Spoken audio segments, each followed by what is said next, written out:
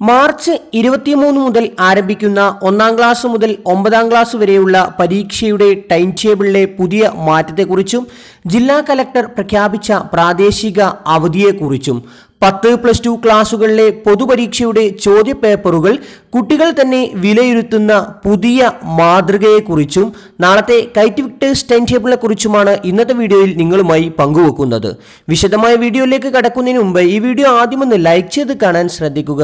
ഉപകാരപ്രദമായാൽ നിങ്ങളുടെ സുഹൃത്തുക്കളിലേക്ക് ഷെയർ ചെയ്യാനും ഇത്തരത്തിലുള്ള ഇൻഫോർമേറ്റീവായ വീഡിയോകൾ ലഭിക്കാൻ ഈ ചാനൽ സബ്സ്ക്രൈബ് ചെയ്യാനും മറക്കാതിരിക്കുക. രാജ്യത്ത് തന്നെ ആദ്യമായി പൊതുവിദ്യാഭ്യാസ മേഖലയിൽ പത്ത് പ്ലസ് ടു ക്ലാസ്സുകളിലെ പൊതുപരീക്ഷയ്ക്കുള്ള ചോദ്യപേപ്പറുകൾ കുട്ടികൾ വിലയിരുത്തുന്നു.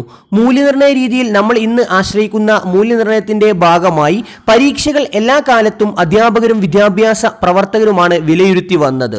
ഈ ശൈലിയിൽ നിന്നുള്ള വിപ്ലവാത്മക മാറ്റത്തിനാണ് പൊതുവിദ്യാഭ്യാസ വകുപ്പിന് കീഴിലുള്ള സംസ്ഥാന വിദ്യാഭ്യാസ ഗവേഷണ പരിശീലന സമിതി തയ്യാറെടുക്കുന്നത്.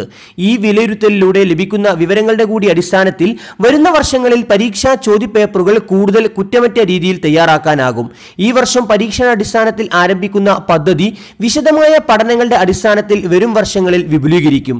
മറ്റൊരു വേറിട്ട കേരള മാതൃകയെന്ന് പൊതുവിദ്യാഭ്യാസ വകുപ്പ് മന്ത്രി വി. ശിവൻകുട്ടി പറഞ്ഞു. നെയ്യാറ്റിങ്കര അമ്മങ്കോട മഹോത്സവത്തോടനുബന്ധിച്ച് നെയ്യാറ്റിങ്കര നഗരസഭാ പ്രദേശത്തെ എല്ലാ സർക്കാർ സ്ഥാപനങ്ങൾക്കും വിദ്യാഭ്യാസ സ്ഥാപനങ്ങൾക്കും ഏപ്രിൽ പന്ത്രണ്ടിന് ജില്ലാ കലക്ടർ പ്രാദേശിക അവധി പ്രഖ്യാപിച്ചു. മാർച്ച് ഇരുപത്തിമൂന്നിന് ആരംഭിക്കുന്ന പരീക്ഷാ ടൈം ടേബിളിൽ മൂന്ന് നാല് ക്ലാസുകളിലെ പരീക്ഷകളിൽ തിരുത്തലുകൾ വരുത്തി സർക്കാർ ഉത്തരവ് ഇറക്കിയിരിക്കുന്നു. ഇതിന്റെ പി ഈ വീഡിയോയുടെ കൂടെ ലഭ്യമാണ്. Thanks for watching.